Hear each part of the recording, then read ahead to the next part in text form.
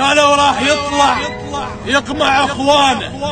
راح يطلع يقمع أخوانه. قلت لهم ابن الملح ما خان. اللي يضربني ترى من ايران اللي جابوه؟ قالوا لي عراقي.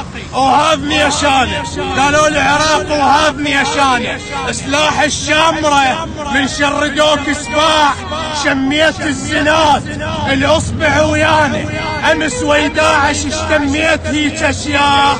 نفس المنتخب جدال خوانه. وصدق ما شفت وجهك. بس ضميرك شاف متلثم علي. بس الله فوقاني وكو واحد قبل لا يموت.